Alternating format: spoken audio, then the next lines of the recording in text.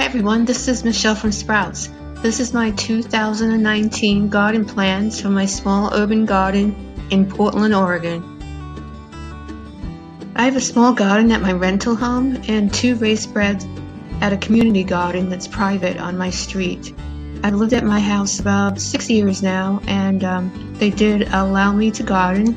I've been slowly doing things because I don't want to go crazy. Well, I would like to go crazy but since it's not my property, I'm going the traditional route.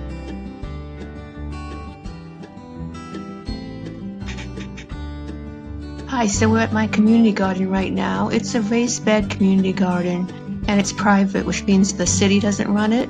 And I like it a lot because there's a lot less rules than in a, in a community garden that the city runs. That's, that's, that's, that's our $50 and we can get up to two beds.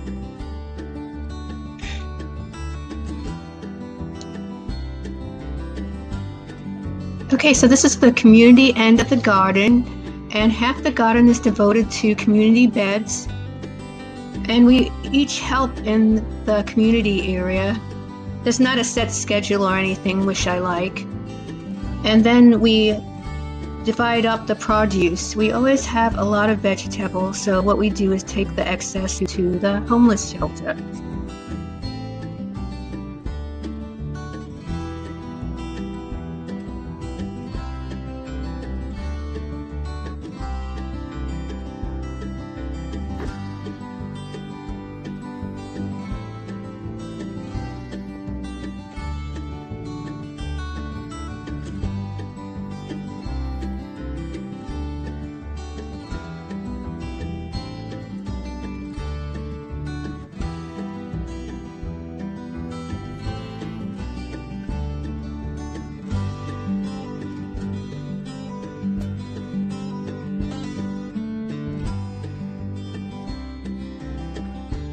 It's still cold here, but the spring bulbs are just beginning to show in my garden. I have some daffodils that I put in this fall that are beginning to flower. I've been doing many projects outside. It's cold this time of year, but usually I can get out because it's usually a high of of the 40s and 50s, but this year is totally different. We're having a really cold spring, which actually will be good for the early start vegetables here, um, like lettuce and things like that. We have a long spring. Okay, this is a window that a neighbor gave me. She was going to put it out um, in the trash or, or on the um, sidewalk for someone to take. And I did take it, and I'm going to use it to make a mini greenhouse. I haven't done anything with it yet, but my other neighbor um, saw that I had this and says he has two windows for me, two additional windows, so that's great. Okay, so this is a plan for my house garden. I have a large porch that I'm gonna um, make that like a tropical garden. Then I've got a lot of things this year that I picked up from neighbors, like the iris beds. Those are new.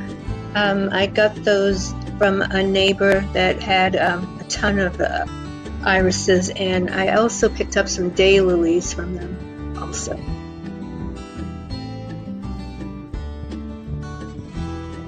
Now I'm showing you where the daylilies are planted, and now we're going into the secret back area that I have. And I kind of took over this land. It, it belongs, I think, to the railroad company um, but it was all blackberries, and I've been fighting the blackberries every year, and slowly I've been putting in like more of like a natural garden back there.